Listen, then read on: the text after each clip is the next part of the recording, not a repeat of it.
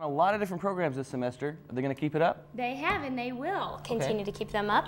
Um, to round off this semester, Eric said that they're planning on having an etiquette dinner. Interesting. And then next semester, they're going to have um, a resume contest and then an interview apparel fashion show. Well, I'll check it out. Two Omaha teenagers are behind bars for the shooting death of, 15 year, of a 15-year-old. Anthony Ray was found shot to death on his couch on Sunday.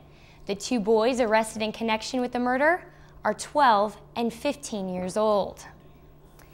A 19-year-old Ogallala man is behind bars. Thomas Knott of Ogallala has been charged with manslaughter and drunken driving in the death of 22-year-old Jose Ramirez of Hastings. Investigators say Ramirez died when the car he was driving was hit just before 1 a.m. on Friday. Coming up, another teenager is in Nebraska state care and 31 people are dead in Baghdad.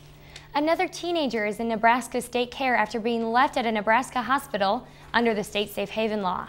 Nebraska authorities say a 17-year-old boy was left by his mother at an Omaha hospital this morning. The boy is the 30th child who has been left under the provisions of Nebraska's safe haven law.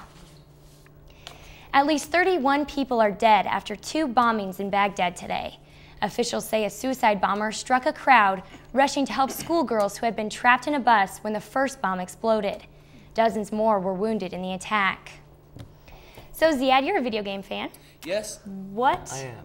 video game will you be first in line for this Christmas? You know, I loved Call of Duty 4 last year, so I'm going to check out the new one, World at War. Sounds good. Yes. Well, uh, DCTV's Chris Owen actually has more about the recent video games that are going to be coming out over the holidays, so check it out.